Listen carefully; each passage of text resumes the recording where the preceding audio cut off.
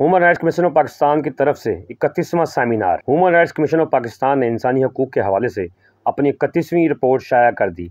इस मौका पर अमेरिकन एम्बेसी के अहलकारों के साथ खुशगवार माहौल में तस्वीरें ली गईं। सिर्फ़ एक दूसरे को अपना तारफ़ करवाया गया। अमेरिकन एम्बेसी के रुकन से ना तो अकलीती मसाइल के ऊपर बात हुई और ना ही अकलीतों की दरपेश मुश्किल पर बात हुई। ये क्वेश्चन मार्क है